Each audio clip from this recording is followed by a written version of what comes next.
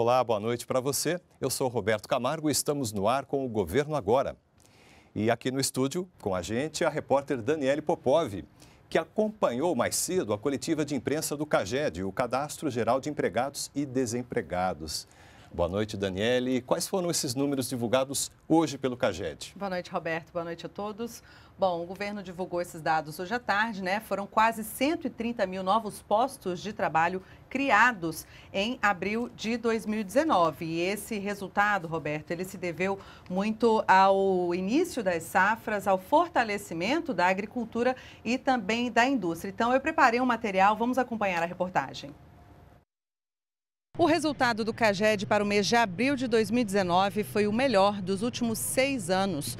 Todos os setores pesquisados, que são oito, criaram empregos formais. Os destaques foram para os setores de serviço, indústria de transformação e construção civil. Esse ano teve um desempenho bastante eh, expressivo, da ordem de 130 mil novos postos de emprego gerados. Né? Isso é cerca de 12% uh, a mais do que em comparação com o ano passado, então são, são números realmente bastante auspiciosos. No mês de abril, todas as regiões brasileiras criaram empregos com carteira assinada.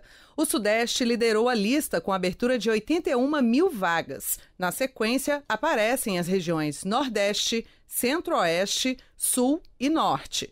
O emprego foi positivo em 23 estados, com destaque para São Paulo, Minas Gerais e Paraná.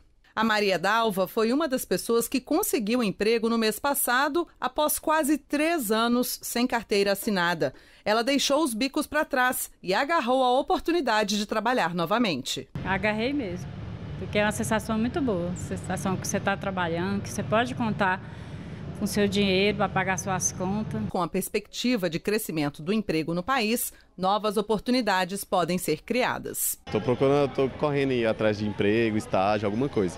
É possível se prever nos próximos meses né, um aumento no crescimento do emprego, mas em linha com as expectativas de crescimento do próprio país. E o presidente Jair Bolsonaro, Dani, parece que comentou esses resultados pelas redes sociais, é isso? Isso mesmo, Roberto. O presidente, ele disse pelo Twitter que, apesar de ser o melhor resultado para o mês de abril dos últimos seis anos, o país ainda está longe do ideal, mas no caminho certo.